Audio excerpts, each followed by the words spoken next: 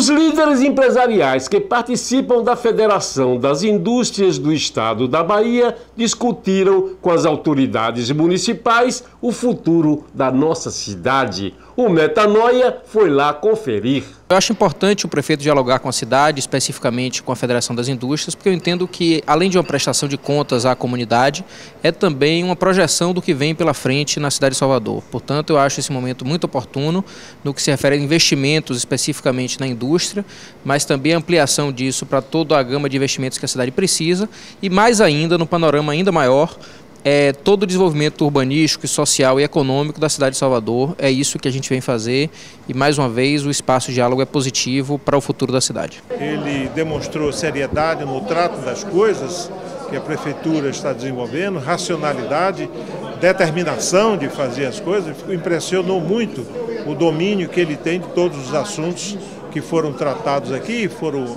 foram amplos os, os assuntos de maneira que ele causou uma boa impressão e a Prefeitura e a Federação das Indústrias eh, será um, um, associado, será um parceiro dele em tudo que ele fizer em favor da cidade, eh, certamente vai contar com o, nosso, com o nosso apoio. A FIEB passa a ser um parceiro real da cidade, como tem sido também parceiro do, do governo do Estado, toda vez que é solicitada, e quanto mais solicitado nós somos, mais participação nós teremos. Líderes empresariais da FIEB discutiram com o governo municipal o futuro de Salvador.